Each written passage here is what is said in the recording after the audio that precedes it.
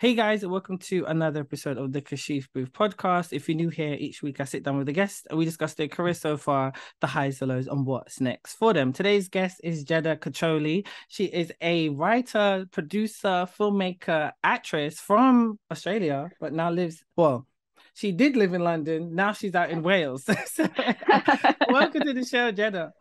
Hi, uh, thanks for having me. I'm so happy to have you on. Like, I mean, I was just saying to you before we press record, like I've known you for almost eight years, which is strange to say. Like yeah. I know. Yeah, it's yeah, nearly it's, a decade. I know. Because that's when I made that terrible documentary when I was trying to figure out what I to do. But it wasn't that bad. And also we had a lot of fun doing that. I remember you we and did. I had a very similar sense of humor. So yes, that's kind of what yes, cemented yes. our relationship. Exactly. But it's so funny, like that was in what 2015 and mm-hmm. then we just reconnected like a few years later like on like social yeah. media and stuff and then i remember you dm'd me and was like we should catch up and talk and stuff and it just went from there where we ended up doing Mnemosyn and newlyweds and stuff like that so yeah yeah well i mean it just kind of shows how important it is to sort of keep touch with people and yeah. because you never really know like where you're gonna meet down the road and stuff, mm-hmm. especially in our industry, you're always running into people. Mm-hmm. Sometimes people you don't like, sometimes mm-hmm. people you do. yeah, yeah, yeah, yeah. Yeah. Yeah, yeah, hundred percent. Hundred percent on don't like. You're like, okay, I'm making a note of not working with you ever again. And then you tell everybody else that you know about that. yeah, hundred percent, hundred percent. I've done it all the time. I'm like, this person is a bitch, and then they're like, oh, what have you heard of this name? Well, that person, like, I remember I worked with somebody on like a commercial kind of thing that I did late last year, and one of the wardrobe stylists I'd worked with before, and I was like, well, we worked with him before, but then the clothes didn't come on time. And then when they did, they were incorrect. And I was like, oh, I don't know. But ah. this time he did do a better job to a certain degree. Gotta give people the second but, chance, right? Yeah, exactly. But we we we had like time was of essence. We only had 10 days to shoot. So so yeah. So like literally produce and do everything in 10 days. So yeah. So yeah. So yeah. essentially, how did you get started as an actor? Um, really weirdly, actually, I my whole sort of creative career started like I, I was a singer in a band, oh. and um, then like you know my family was sort of like, well, what are you going to do with your life? And I'm like, well, I better go make some money. So um, I did I did a science degree and I became a scientist. and then yeah, yeah, yeah. So uh, you know, I uh. did I did the usual thing where you're like, oh, I'll try live the the normal like 9 to mm-hmm. five and everything like that and then um yeah i was just extremely unhappy. And i was like oh bugger it i'll go to acting school. So i was like i was like 23 24 when i went to acting school. And um my first role before i started acting school was with my mate in um this sci-fi film called queen of the bees where i played this like guerrilla general person that wanted to kill the new world. And i'm like perfect. This really goes with all my anger issues. I'm up for it. Um so yeah that kind of got everything started and then literally from there it was sort of like this meteoric move into like I left my I left my partner at that time. I went straight into acting school. It was really intense. It was like a full year. Like all my emotions were ripped out of me. Um, and then like straight after acting school, I got a job at a fringe show um, as a backup singer for this really well-known drag queen called Dolly Diamond um, and I learned a lot from her. And then, um, yeah, I just sort of, and then I met my husband, and then I moved to London, and then uh, you know. but then it continued. You continued acting. You got an agent over here. You continued pursuing your passion as well. That's how we ended up meeting as well. So cool. Yeah, yeah. Mm-hmm. I think it was really. Um, I think because I felt like I wasted so much time trying to be like I guess normal. I don't mm-hmm. know. I, I don't know if that's the right word. I apologize if it's not. Or just um, a safe job, you know, nine to five, the typical. Okay, I get benefits, and I will get my send my holidays this year. you know. Yeah, yeah. I try to be. I try to make my life as comfortable as possible, and it clearly wasn't what was meant for me. And I think sometimes when you get on the right path, you just get slingshot sort of to the moment that you're meant to be at and mm-hmm. yeah so when i got to london it was like another it was like another world as well because australia is so um like I mean, it's big in terms of landmass, but there's not as many opportunities. And like, uh, it's pretty conservative in terms of their ideas and everything as well. While London, like, you know, they really want you to push towards the edge of things and, and, um, you know, their ideas are a lot more uh, out there and uh, conceptual as well. And, mm-hmm. you know, it, it was definitely an eye opener and I had a lot to absorb in just a short amount of time nice. for sure because I have spoken to quite a few. I mean, it's weird. Like the past year, I've connected with a lot of Australian filmmakers who've moved to London, and they've just said the same thing. Like it's very small, it's very niche. You just kind of be working on the same type of shows, or you might yeah. on Home and Away and Neighbours. But I know Neighbours got cancelled, so yeah, only, yeah. only Home and Away is still on the air. Don't judge me. I used to watch both many years ago, addicted. No, I don't know why. Don't know why I was watching this. it was like every soaps. midday afternoon. Listen, I needed to watch my neighbors and home and away. But um, I totally understand that because it's just like when some people come like in London, they want to go to America because there's more going on in terms of the type mm. of stuff you can create. But I feel like especially in London now, the industry's changed in the last what 10 years so much with streaming. So that we have so much access to TV and film. So there's a lot going on. Yeah, there's a lot more content being made for sure, especially mm-hmm. like um and also because of the pandemic as well, people have really mm-hmm. changed like how they yeah. they view their entertainment. Like um you know, people still want to go to a cinema, but they're also quite happy to pay the 15 pounds to home premiere the newest Marvel or mm-hmm. whatever's out. Yeah, true. So, you know, you sort of have to move with the landscape. But then at the same time, I think for actors, that does create a lot more opportunities, mm-hmm. you know, especially if you have like a sort of niche skill or or something like that. I know with a lot of the Marvel people, like uh you know if you you're really good at like sword fighting or anything like that like you, you can get a lot more opportunities in those worlds which you know they're big commercial successes and mm-hmm. you know it's just another foot in the door right? So when you did move to london what were some of the challenges you faced as an actor being australian? Did you feel like you had to like put on a British accent to get roles. Yeah, for sure. Definitely. I mean, obviously, um, you know, because a lot of the roles that that were out there, they're not they're not for Australians. Mm-hmm. And um, mm-hmm. so, uh, but also, I was pretty lucky because of the because of how I grew up. I sort of I've moved around like all over the world. My accent's not like super like ocker, like hi, how you going? Rah, rah, rah. Yeah, yeah, yeah. I I kind of have a, like a more a softer accent. So it's easy for me to slip into an English accent but don't ask me to do like a Mancunian or, or anything like mm-hmm. Birmingham or anything like that. Like yeah, yeah, I will butcher that like okay terribly. Mm-hmm. So yeah, that was that was a big challenge. Also getting onto Spotlight at the time. I know they've made it easier now, mm-hmm. but um because my my school wasn't recognized because it was an American American school. Okay. Um that was based in LA it wasn't recognized within spotlight and i didn't i only had two credits instead of three like professional um, but the funny thing is now everyone was like, why didn't you just lie? why didn't you lie and just put on like this fake credit? And I'm like, I don't know. Like I just I was trying to be honest yeah, and like get it. Mm-hmm. Um, but then I was really lucky because I actually met my um now agent, John. He does mm-hmm. a lot of um stuff with the Guardian and stuff oh, like okay. that um and he runs this like sort of one-to-one mentoring thing and i just got in contact with him and i was like hey you know completely new here. I'm really green.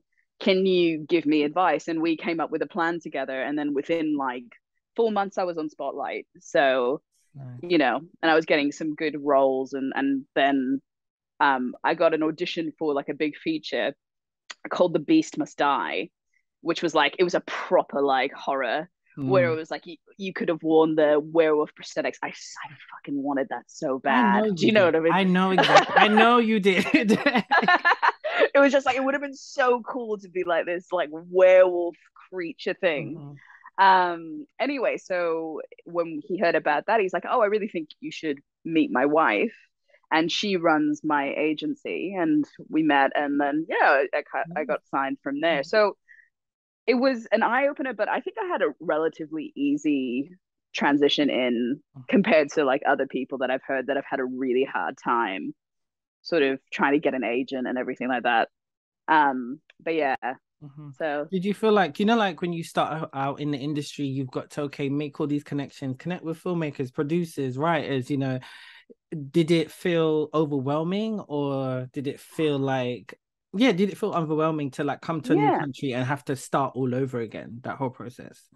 Yeah um i mean it was overwhelming for sure like moving to a completely new place because it, it's still culture shock in mm-hmm. a way like um you know figuring out sort of because i'm quite an honest person as well and i and i was realizing that yeah. But i was realizing with a lot of like british people when they're like oh how are you they don't actually want to like no. hear how you are they kind of just want to they're just like oh i know i'm fine you know stiff upper lip we're all good moving yeah. on mm-hmm. and i and i struggle really with a lot of like small conversation i find it um I, my husband always says to me, he's like, you're just way too deep. Like, you know, I, I always want to like talk about like how this affects society and blah, blah, blah. I don't, it's so wanky. Mm-hmm. Um, but yeah, it, it was definitely overwhelming. And I, you do kind of feel this, this need to sort of make these connections. What can I like, this is when I was first starting, by the way, like, what can I get out of this relationship? Blah, blah, blah and that's really not the way you should mm-hmm. go about networking at all you shouldn't go into that relationship going how can i benefit from this mm-hmm. you should just go in wanting to know that person yeah. just like you and i like we just mm-hmm. got on and yeah. everything like that and then mm-hmm. later on we worked together like and that was like three or four years yeah true you know mm-hmm. so it is yeah i definitely think the mindset that's around acting and the things that you need to do and like how mm-hmm. on you have to be and rah rah rah that definitely can that can bring you down and and everything and then you've also got like the toxic positivity side of it mm. where you're like constantly like yeah i am on it i am the best i am this mm. i am that and then mm. there's like no critical self-analysis whatsoever so yeah. point. No, you made a really good yeah. point about critical analysis and the hyper positivity because there's so many actors who I know who always come to me with like advice and they're like, you know, oh, how can I do this? How can I do this? And I'm like, you need to train. Like, I feel like everyone, you need to go to drama school, you need to refine your skills, you need to mm. really, really develop yourself as an actor. Even for me as a filmmaker, I don't know everything. I'm still developing and growing as well because we don't know everything. No one does. You're gonna just like when you're writing a show, for example, somebody who's writing a show from episode one to episode six needs a writer's room. You need yeah. That's why Euphoria season two was so bad because he clearly had no no um writer's room you know right, so right. it's like you need other voices you need to hear different experiences and how you can develop a character develop a story so it is really important that you do that so yeah but one thing yeah.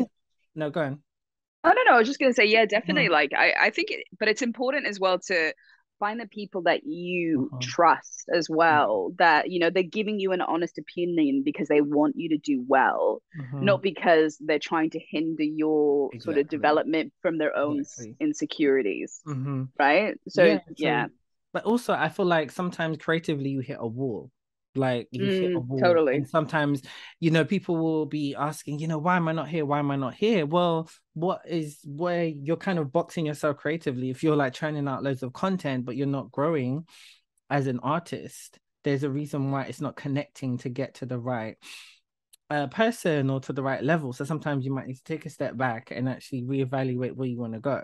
Like I know yeah. I can produce anything. Everyone knows that. But I'm at that point where when I'm producing and I'm currently in advertising, I'm getting mad. Like I'm fuming when little things go wrong or somebody's pissing me off. I want to hit them, but I can't. right. Yeah. So I'm like, okay, I can't be a producer anymore because I'm getting mad and I'm more yeah. want to be just in the creative space developing stuff. So I'm just writing and I'll get be deciding to become more confident with my writing so I can get loads of feedback and work on the skills that I have. You know, that's the only way to do it. So you have to kind of figure that out as well. Yeah, totally. I, I think you you definitely always have to um sort of consider the path that you're on. Sometimes you can get really blinded by a single goal. And if that goal is just to be this famous actor and blah, blah, blah, it, you have to sort of evaluate the reasons why you want that. Mm-hmm. Is it like, yeah. do you feel that fame will sort of overshadow all your you know um demons or like mm-hmm. if i do this my life will be better do you know have you seen um pixar soul yes Yeah, you know, when he mm-hmm. says like today my life is going to start. And then when it did happen, he was like, I thought I'd feel different. Yeah. Exactly. You know, and that's because you haven't done like the work. Mm-hmm. Or you maybe didn't take the path that you were meant to go on. So sometimes yeah. you start on one and then you're like, oh, actually, you know, it's sort of like me. I started at this as this actor sort of level. And then it was like, it wasn't fulfilling me in the the same ways. And i was getting these these roles. I mean i think i told you about this. Mm-hmm. i i went to um i went to three auditions and they were all essentially the same character written by these young men. And one was a prostitute who had a child. So that gave her a heart of gold but she had a drug addiction another one was a prostitute who kills her child because she's in an abusive relationship and the third one was a mother that was in an abusive relationship who turns to prostitution. So, and three completely different filmmakers, mm. all viewing women in this way. Mm-hmm, mm-hmm. And I'm like, we we're like so much more. And that sort of started me on this mm-hmm. journey of no like we we we have to be more than these mothers and horse yeah like yeah yeah it's it's really yeah. wrong yeah. Mm-hmm. and so like you know that's probably the way we sort of went with like Mnemosyn and stuff like that where you know she's a really smart woman you know she's stuck mm-hmm. in the situation even though we didn't even end up making that film no. that's another fucking story if we but can, yeah. maybe part two, maybe. maybe. maybe. I always said it could be a really good mini series, mm-hmm. like a bit yes, of a Black Mirror vibe. Yes, yes, yes, yes, yes. Yeah, yeah. So, but yeah, I think sometimes you, um, you, you know, you have to realize where the path is leading you, and you have to acknowledge it, and you have to take the step. And the most uncomfortable step is usually the right one. It's true. It's true. Yeah, yeah. Because you made a good point um about that script and those three well those three different scripts by those male filmmakers it met, led on to my next point. As you as an actor when you receive a script which you just don't think is good because that's the thing you can get like the spec of a script or the the you know the outline of a script and then you read it and you're like ah like damn. Like how do you as an actor have to kind of like navigate that. Yeah, or like hype yourself up to be like, okay, cool. I'm gonna get to set and I'm gonna follow the director's vision and get this done. And like, how, like, what is that kind of? What is that like? Oh, mate. Um. Okay. I'm gonna be brutally honest. Like, if I don't like it, I don't do it. Oh. like, I love that. I love that. I love that. No, no. I, I think I did. I did it one time where I was like, no, no. I'll. I've made the commitment. I'll do it. I'll do it. And it was the first time I ever had my first on-set blow up. Oh, like where I literally ripped these people a new asshole. Mm. Like it was, and that's because I was also coming from a, a, filmmaker side where it was completely disrespectful to all the actors that were on set. Okay. The directors came an hour late. We were all waiting outside. What? There was no apology made to us. We found out that the majority of the crew was getting paid and none of the actors were getting paid. And like a few of the actors were coming from other parts of you know England. Mm, okay. Um, and it was just, and there was even points where we weren't even acting with each other. There was no wide shot done, only mid shots and close ups, which you know can work, but it wasn't for the right reasons. And mm-hmm. anyway, Whoa. So yeah, I mean, sometimes it's so hard because people, as looking from an independent perspective of filmmaking it's like you trying to figure out who can who can you pay like but no, yeah, at the totally. same time it's like good budgeting. If you can't pay actors find a way to give them something you know like yeah we had to buy our own food as well. What they did not feed us either. Okay. No. Wow. Because that's the thing. Even if like, okay, you know you have to pay the crew, you got to pay sound, you got to pay at least a DP and at least a gaffer. Everyone else, the director, maybe, maybe not. You know, everybody else you probably could get with. But when it comes, if you can't pay the actors, at least reimburse their travel get them food, yeah. like feed them, give like really make sure that like, treat them like basic human yeah, beings. They have everything they need. If they need a cab, if they need this, if they have like make sure. But I bet they you had to use your own clothes as well, right? I bet you had to use your own clothes. Oh, they they they gave us like some t-shirts and stuff from the sponsor of the sponsor. the film. Oh yeah, don't I don't know. anyway, it was okay, it was all okay. very unprofessional, mm, mm, and okay. and that was the last time where I was like, if I get a gut feeling. Mm-hmm. I'm just not doing it. And I think that's a really important thing mm-hmm. because I don't think you can do your best work mm-hmm. if you do not believe in the character. Now, this is different if like you like the character, but the director wants you to try something different. Yeah. You know what I mean? Like he wants mm-hmm. you to sort of maybe do it in a way that you didn't feel was right. Mm-hmm. Because sometimes it's nice to pull you out of that mindset and then you do yeah. something new and then you're like, oh, maybe I can take it here. So okay. two very different things. Mm. Yeah. No, that's good sure. to hear. That's good to hear. I mean, because you as a person, I know that's how you are. So that's fine. Yeah. For me, it's like one of the main reasons that I stopped writing was because the actors that I was working with, I knew they didn't like what I had written or the direction of where I was taking my show. So it then made me feel really insecure about my abilities.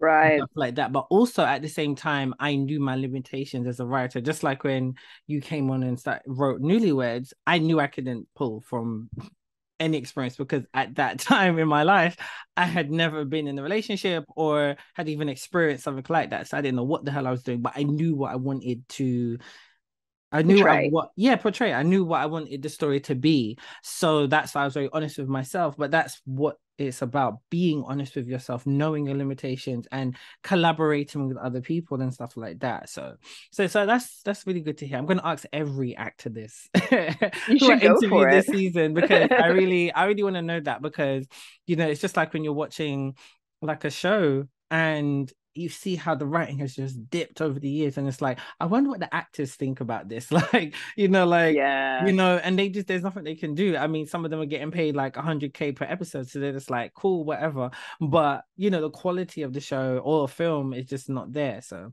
that's really cool. So leading on to my next point we've briefly mentioned newlyweds and Mnemosyn. so back in 2019 it's weird to say that because that's almost four years ago uh time is going. Uh, I remember I read like what was it, an early? I don't know what draft it was of. Mnemosyn. Oh, don't. Do you know how many drafts there were of Mnemosyn? It was like fifty drafts. Like just yeah, like yeah, yeah. No, and, um, but also I remember we met up. I remember we met up and we were just were chatting, and I was telling you about Newlyweds, and I want to do this, and he was like, "Oh, yeah and then we said okay we're going to work together. And then you introduced alex to me who's a great writer as well. Yeah. And yeah i was like okay i need to do a writers room. So we were planning to do that writers room in spring 2019 yeah. i remember. And then you was and then during that time you also asked me to give you feedback on Mnemosyn so i was reading it and giving you feedback and stuff like that and was going back and forth. And then you asked me to come on as producer. I was like well i might as well. I'm giving you a bunch of feedback yeah exactly and i was like i want to do like other genres because at that time i was only known for comedy so i really wanted yeah. to like show on my portfolio my work that i can do everything not just one genre of yeah, film yeah, and, com- and web series because that's what I'm best known for. And yeah, we you know we developed that script. We did the crowdfunding campaign. We found a director that didn't work out. Then I remember you wanted to. Then you weren't going to direct, and I said you should direct. Is your vision? yeah, then, yeah, yeah. You know, and then you know we raised that money I we did. Yeah. was yeah, oh that crowdfunding campaign. And then I got pregnant. Yeah, you know. you, know what, you know what's so funny though about the whole pregnancy thing, and yeah. like I hope people enjoy this. You were actually the first person to know, other than my husband, because you and I were messaging so much. Yes. You were at the top of my list. yeah. So I sent you the the pee stick photo. And you did. I, I don't was, even remember. Wow. Oh my! I was, and you were like, "What is this?" and I was like, and I was like, "Oh my god! Can you please ignore it? That mm-hmm. was for my husband." so you knew before my husband when my son, wow. when I was pregnant with my son. I wow, wow. That's so you know funny. What? I was thinking that before we were about to record. It's like we were in contact with each other like all the time for like two years it's so yeah. funny how a project can really marry you together. Like you're just yeah. like we would talk almost every day about updates about this and that. And what's great is that sometimes when you get on with somebody and then you can work together with them and it's fine as well. That's what was great. Yeah, so, definitely. Yeah, yeah. I think it's um who else I was talking to one of my writing partners about this, Scott. And he was saying, you know, sometimes when you're filmmaking, you spend more time with them than your family. Mm-hmm. And you do kind of get to know them on this different level because, you know, filmmaking is one of those art genres where it's yeah it's a collaborative effort mm-hmm. like and everybody has to be on board and it, yeah it is it's crazy and i think you and i because we have the same sort of work ethic we're, mm-hmm. we're always sort of thinking about the mm-hmm. project and we're always mm-hmm. maybe that could be to our detriment let's let's you know work life balance wise yeah, i've got better i've got better honestly i have got better i have got better last year was very good for me 2022 was very good i didn't yeah. do anything but my podcast last year that was so I only did writing. Like I think after Mnemosyn, I mean, because I remember even we were doing a pre um, budget meeting, like a production meeting, and I was holding Dylan the newborn I over Zoom. That. Yes, and I was having yes. to turn off my camera so I could breastfeed yes, him and stuff like that. And I remember and that. I and my husband was kind of like, just couldn't just couldn't take like a day. like... But it was like at that point because you did get pregnant. I remember you was trying to like you still wanted to do it while pregnant. And I said to you, no. Yeah, baby, relax. We're doing it next year in 2021. And and I was like, it's fine. We'll just leave this. And oh we God. did because that's gonna make like... me sound so unhealthy. but you know what it was because you had even before I joined the project, you had been working on it for ages. So I get you just wanted to get it done. Yeah. So I totally understand. So yeah, and that was peak pandemic. It's crazy that yeah. was three years ago. So we just kind of put pause on that and then did it next the following year. It was the best thing as well. Like it was, yeah. you know, uh, we were at that level that we could get more people onto set too. We didn't have to be so restricted and yeah, true. And it was a really fun set as well. And, yeah, great you know, set of team. Yeah, yeah, yeah, exactly. Yeah. And I think what the cool thing about when we shot Mnemosyn was we was in that really nice apartment hotel, and yeah. it was around the Euros when it was like what was it Euros 2020 what was pushed back and that was a crazy madness because England were playing Scotland and Central London. Oh yeah, that's right. Yeah, we got yeah. rammed. Yeah, yeah, yeah, exactly. But that was such a beautiful place we shot in as well. Like I loved it. Yeah. Mm-hmm. Do you know? As I remember, like you know, early in the conversation, we were saying sometimes you know you have to pick the path like that's presented to you, and you know, with the original script of Mnemosyn, that wasn't the one that we ended up shooting. Mm-hmm. So if we wouldn't have filmed there if like things went the original way. Mm-hmm. Um, and yeah that was a, it was a really really nice place and it was it was just nice because it had a kitchen so we could have like really hot food and yes, like we got that vegan yes. chef in as well and exactly it made stuff so my bougie life like oh i want to yeah. an apartment hotel you know like yeah yeah you know you just kind of live your life you know mm-hmm. exactly because we nice. shot that in what was it was it Bond Mayfair? Street? Yeah, Mayfair. Yeah, that was it. May Mayfair, and it was just great. Like honestly, like you said, it was such a good two day shoot. Great team. And how mm. was it for you balancing that? Because we produced it obviously together, and yeah. you were also directing, co-directing it with Scott, and then yeah. in it because you originally were going to be the lead well co-lead like but at the same time because we changed the script from it being you know dying wife to dying dad you know what what's that also like? And explain what Mnemosyn means because a lot of people probably don't know what that is and probably can't... oh right. No no yeah that was oh my god the name. This okay so this is a this is a fair warning to you to mm-hmm. your viewers. Sometimes when you're writing something and you're trying to be clever it actually messes you up. You have to have a good name yeah. And Mnemosyn, as much as it's clever, because mm-hmm. Comes from Mnemosyne, which is the Greek god of memory. And I thought Nimicin is like a synthetic memory because that's what the original basis of the mm-hmm. first film was is that you could see your memories from a third person perspective but then again memories are malleable so it's just your perspective so might not have happened that way you know? And then you can show other people these memories as well. Um so yeah so that's the sort of world that originally it was in. So we the first movie was about the people that owned it the person that wanted this technology to kind of go forward and everything like that and then she ends up being trapped into the technology and then Mnemosyn is about the people that actually invented the technology, the one that we did. And it's sort of she breaks these ethical guidelines and stuff like that. So mm-hmm. I, I, I don't want to say too much without giving away because it hasn't premiered yes. yet. Yes. But essentially, it's about a man that goes to end his life at this service that's provided for in the future. And then he finds out that his daughter is actually the one who created that whole world for him to die in. yeah. yeah. And there you go. Like, how was it for you? Like co-producing it with me, writing mm. it, co-directing it with Scott, and then being in it. Like, what was that all like for you? Um, I mean, I do realize I have some control issues. Um, um but yeah, it was it was definitely a new experience. Um, I for a long time, people like you included, and like so many people are like, you have to direct now. Like you're getting to that point where you you're mm-hmm. acting like a director, but you're not directing. Mm-hmm. And um, directing was definitely a new experience. I I learned a lot off Scott, and mm-hmm. I learned a lot off a lot off Carl as well, especially when it came to like what kind of lens to use for which thing and everything like that. Um, and it was really overwhelming as well because I had my son with my in-laws, mm-hmm. like that was back like for home. the first time, wasn't it? As well, you had been away. Yeah. From, yeah. Yeah, it was the first time I was away, like working when I had my baby, and he was only six, seven months then. Mm-hmm. Um, and it, it was definitely um it was a lot to process. It took me a mm-hmm. long time to process, and especially because I don't like editing films for a really long time. Mm-hmm. We got that edited like literally a month after and ready to get into the the festival season. We did actually. Um, and but it was so good with the crowdfunding campaign and everything as well because we were like so on it and we were like messaging people and we were mm-hmm. so I mean like it was relief mm-hmm. working with somebody that was on it as well. But mm-hmm. I think if I were to do it again, I would just tell myself that I have a lot of time. Mm-hmm. It doesn't need to be done immediately. Yeah, yeah.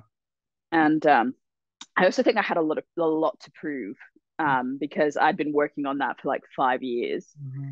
And then all of a sudden it all came crashing down. And I was like, no, I need to make this film. Mm-hmm. And yeah, and actually, the original this script that we did I originally wrote it for the Harper's Bazaar competition that came out, you know, years ago, and it was mm-hmm. shortlisted for that. Okay, right. And right. um, they didn't even like. I don't even think they made any of those films, to be honest. Like, I don't even know what happened there. but yeah, Funny. so yeah, it's definitely um, I don't recommend it. Yeah. I think maybe one or two jobs is mm. fine. Yeah. Um, but don't do what I did and go complete control freak yeah i understand because your projects are like your children this was your yeah. you had dylan you know like the, that's just what it is so like i've only now learned how to separate myself from my career like that work life balance because as far as i was concerned my life is my work but now yeah. it's like there's so much more to life i can still pursue my career and my dreams and stuff like that and have a life. So yeah definitely yeah, so and that's that's what it is because you know this industry is so not how can I put this? There's no security in this industry. You know, there's no security, especially if you decide to be freelance or do it independently. You can get your yeah. cushy, you know, safe job where you feel like you're a filmmaker because you're doing advertising.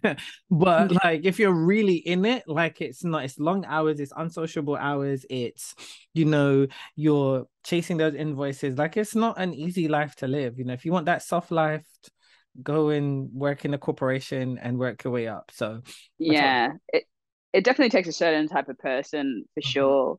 I think I also had a lot to prove as well because as, as you said, like, you know, I, I, think a lot of a lot of um, people that have children go through this, where it's it becomes a death of self. Like you you are no longer the person you were before because you have this little human being that you now have to take care of. And I think I was so desperate to hold on to mm-hmm. what little I had left with Mnemosyn that I was like, I went full, you know, and I wanted to say, I said to Jim, I was like, you know, I don't want Dylan to to see me as a filmmaker and say I never finished anything, or, you know, I put all this pressure on myself, and like, and now I'm I'm so different. Like, you know, I'm late to things sometimes. Like you know me, I'm like 20 minutes early and blah blah blah. Yeah, but now, yeah. like with my kid, I'm like, I will get there when I get there, and you will be happy about it. yeah, yeah, yeah. I totally understand. But that's fine because you are a mother, you know, like and yeah, you understand that. So, but it's like I always say, it's communication. I think that's for us. Me and you are very big on that. If you're going to be late, say you're going to be late, you know, but communicate that. Don't just show up 20 minutes late and we're like panicking, like, where the hell are you? That's the. Oh, absolutely. I think it is so, mm-hmm. when people are like, oh, I've just been busy, I've just been this, it does not take long to send a text message. No, it, it is literally 30 seconds. So, you, what you need to evaluate if you can't send a text message mm-hmm. is how much you respect the person that you're exactly. meeting because exactly. you do not respect their time. Exactly. The one thing that we all have in common mm-hmm. is time. Yeah you know so send the message even if you don't fucking want to just mm-hmm. send the message going i'm mm-hmm. gonna be late mm-hmm. i'm sorry and then the person can fume a little bit on their end but they know what's happening mm-hmm. you know easy exactly.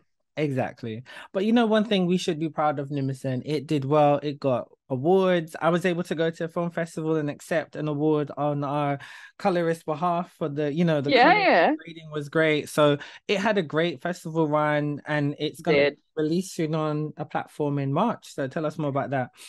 Yeah, film shortage. Um, so it's going to release on film shortage in March. We've got two more festivals that we're waiting to hear back from um but yeah we like to be honest mm-hmm. when we started winning awards and stuff i was like super surprised i was i was like but i was just proud it was done yeah you know yeah, I mean? yeah yeah yeah I, I didn't give it I, I was just like no matter what happens from this point i can say to myself i did it i did it while i had a baby mm-hmm. done mm-hmm. that is my accomplishment then all of a sudden it was like we got into this festival we won this award we won this award we won this award and like mm-hmm. i'm actually going to get scott to do the poster and just cover it in all the oh the laurels. nice that would be amazing. Yeah, yeah yeah, so yeah. once it's done i can just i can just look at that and be like do you know what i actually we actually fucking did it like no, you should be proud. Yeah. You should be so proud. Because that's yeah. I said. It's such people don't realize unless you're in it, you don't understand how much work it is. And that's why yeah. I, that's why I have taken a break. But I wouldn't say break. I've just decided no more independent stuff. Like no, nobody contacting me. Oh, let's can we do this? Like trying to raise money, trying to get funding. It's a yeah. long process. Come to me with, oh, I have 10 grand. Okay, cool. Let's shoot it. I'm not trying to be in that struggle kind of like bit anymore because it's too much. No, no. Yeah, I think you I think you do have to make those sort of decisions. Mm-hmm.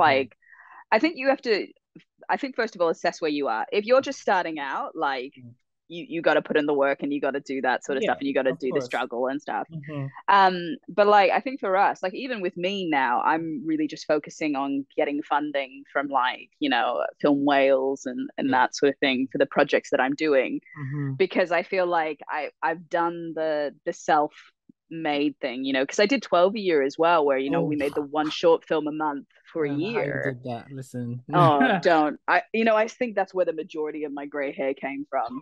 and some of those films are never, ever going to be seen. They are, they are so deep in the web mm. that like literally they are just pixels. Like, no way. Okay. Yeah. Um, but like, I feel like, I think you and I probably are both at that point where we're like, actually, no, we want to, we want to go to that next level and yeah. we're going to push for that next level.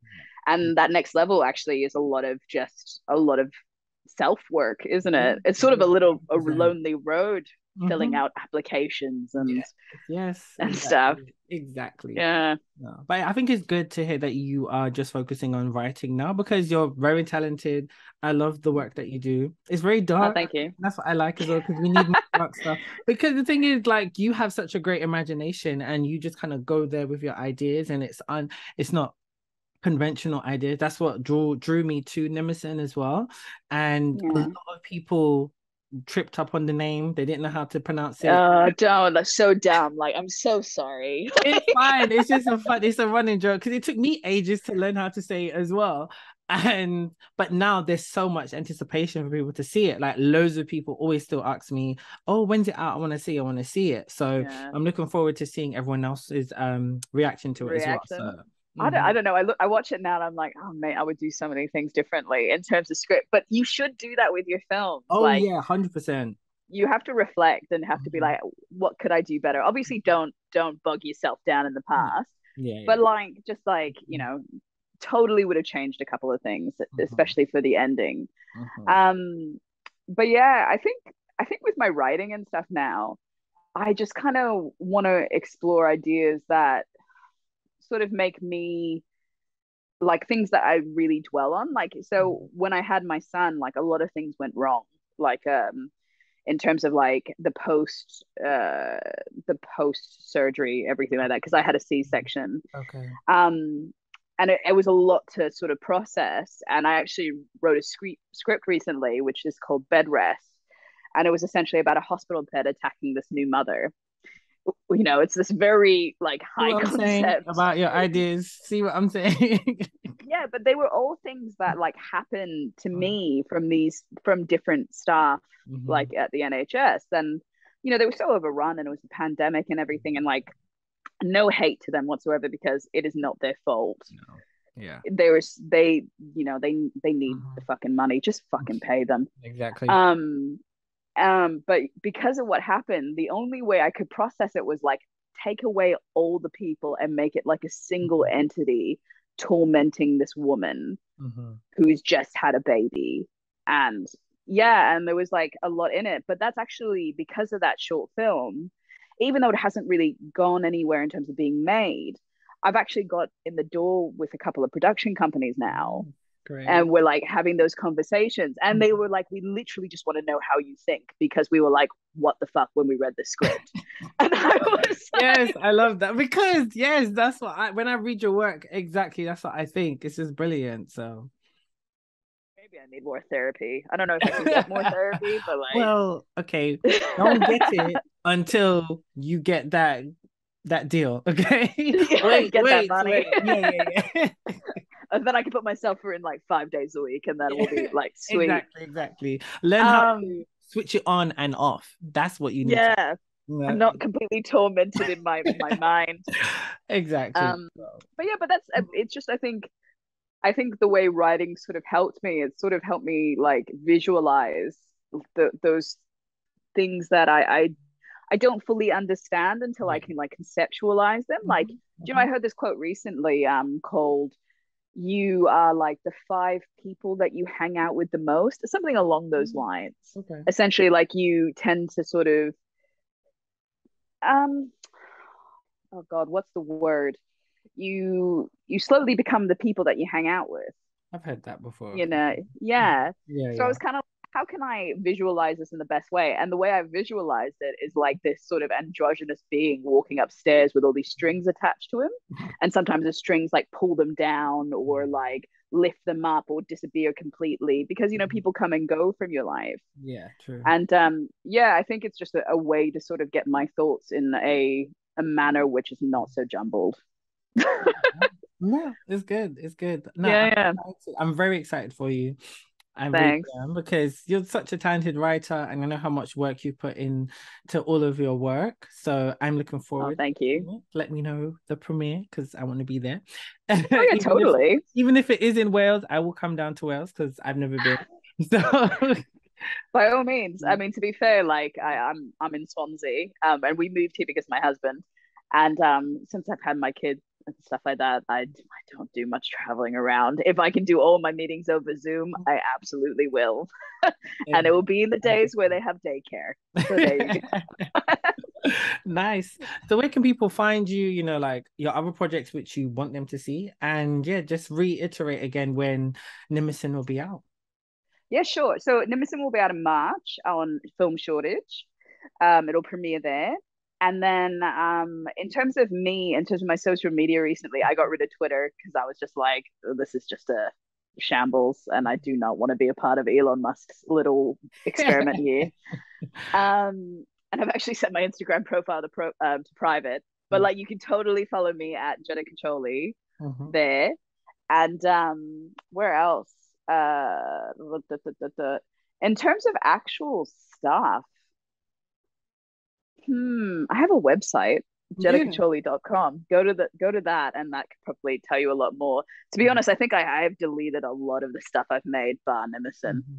Well Oh wait, no shit. I do have a film on my Instagram of the of short horror that I made. This is terrible. when you do interviews, you should know what you have out there, right? You should. You should. And I'm keeping listening because this is funny. thank you, thank you. Um, far out. Mm-hmm. Go to my website. I will update it. You can see more what's in development there and what I've got going on and um, yeah, that is better than me trying to verbally regurgitate it right now. and you can also check out Newlyweds because Jeda is one of the co-writers on it as well. And yes. listeners have heard me talk about Newlyweds too much and they've heard the whole process of what that hell was um, making yeah. new words. Uh, so yeah you can also see her great writing there as well and stuff like that. So yeah Jeda thanks for coming on the show. It's been great catching up. We should catch yeah. up more actually because yeah we, we should. Yeah but as you said for the two years we were like married so yeah. we needed we needed space from each other yeah, let's yeah, face it. like all good relationships you just need to let it breathe and then exactly. you come back together. Exactly and I was going to say thank you so much for having me on. I really appreciate it. Yeah, yeah, you're welcome. You're welcome. I had to like when I was gonna do this season the of the podcast season three, and it was all on actors. I was like, I have to have Jeda. So, so yeah, of course. Uh-huh. Made sense, made sense. Well, yeah, well, thanks yeah, guys for listening. You can follow me all on my usual socials. You know them, there's a bunch of them. So, yeah, stay tuned for new episodes coming soon.